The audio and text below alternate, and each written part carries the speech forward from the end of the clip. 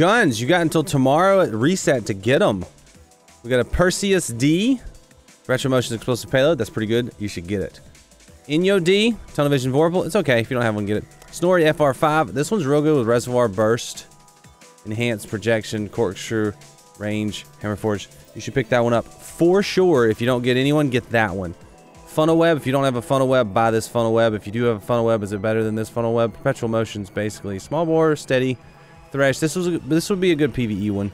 Uh, Palmyra, you can get the blueprint for this and, and craft this gun. I wouldn't worry about this too much, but Frenzy Ensemble, nah, it's not too good. And then we got a Typhon. I pass on this one. Cool.